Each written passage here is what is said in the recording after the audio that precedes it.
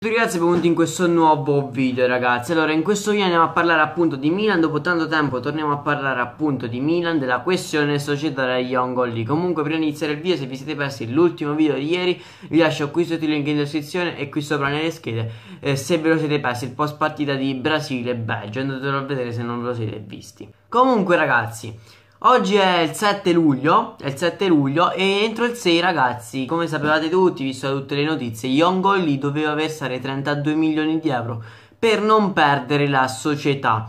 Ragazzi, che cosa è successo? Young lì non ha versato questi soldi, cioè ha avuto praticamente un mese e mezzo di tempo eh, per versare questi soldi eh, prestati appunto dal fondo Elliott. Young lì non li ha prestati, cioè Young lì non li ha restituiti non li ha restituiti, non li ha depositati ragazzi. Yongo lì non ha depositato i 32 milioni di euro. E voi ragazzi direte, e beh, che cosa succede? Ragazzi, Yongo lì perde tutto. Yongo lì perde tutto, perde il Milan, perde tutto.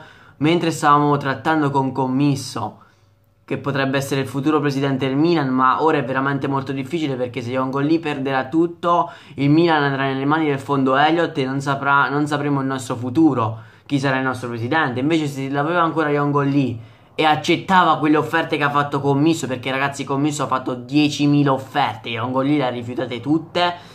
E ragazzi, Yongo lì adesso rischia di perdere il Milan, cioè per ora l'ha perso. Però ragazzi, Yongo lì non ha... Eh, non ha veramente controllo della società del Milan. Però ragazzi, il Milan è senza, è senza presidente. Dicono ragazzi che Yongo lì verserà 32 milioni lunedì mattina o lunedì pomeriggio. Però ragazzi, secondo Yongo lì, perché il fondo Elliott non ha parlato, il fondo Elliott non ha detto niente. Il fondo Elliott non ha detto che ti diamo 48 ore in più per pagare. E ragazzi, se così fosse, cioè se il fondo Elliott non gli ha detto neanche a lui niente in privato, io spero che gli ha detto qualcosa in privato e non lo sappiamo, perché altrimenti ragazzi noi siamo senza presidente, andiamo in mano al fondo Elliott e non sappiamo cosa succederà.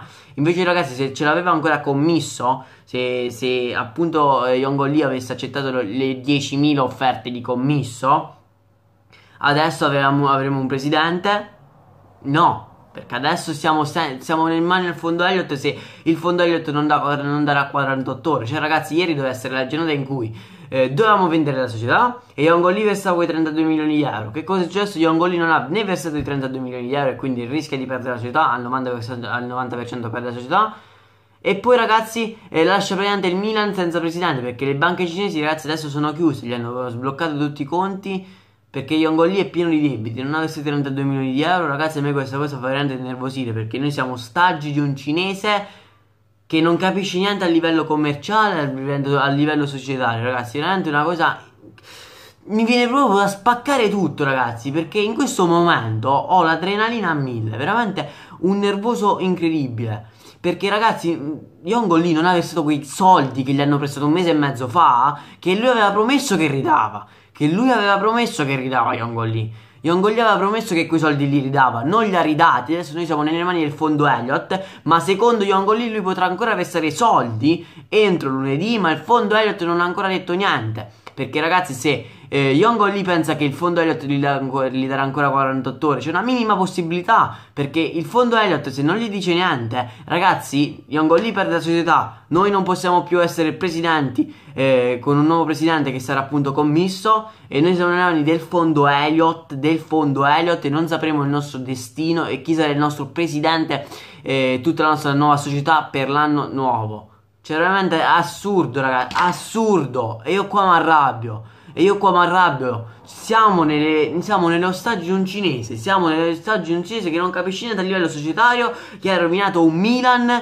Che non ci ha fatto andare in Europa League. Speriamo nel TAS di Losanna. Ma in questo momento il TAS di Losanna non mi importa perché io non voglio perdere appunto tutti. Non voglio essere senza presidente e stare nelle mani del, del fondo Elliott.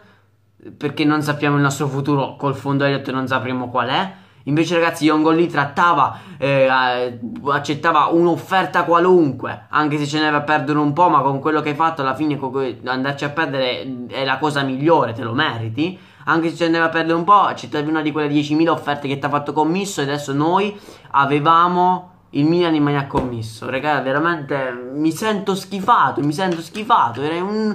Raga, vabbè, fa... chiudo il video perché se no adesso spacco veramente tutto. Eh, niente ragazzi, eh, vediamo questa, questa, cosa che appunto succederà a livello societario. eh, commerciale del Mina. Speriamo che Yongo lì e il fondo Elliott gli dia 48 ore appunto per finire di trattare con Commisso per cercare appunto di mh, trovare un accordo così Commisso sarà il nostro nuovo eh, il nostro nuovo presidente non avrà debiti perché questo noi siamo, in, siamo nello stagio di un cinese che non capisce niente. Comunque ragazzi niente fatemi sapere la vostra qui sotto nei commenti. Io grazie lasciare un bel like se iscrivete al canale andiamo a seguire su Instagram per rimanere sempre aggiornati sulla faccenda poi metti il settino basso, offline, noi ci vediamo in prossimo video e bella, ciao.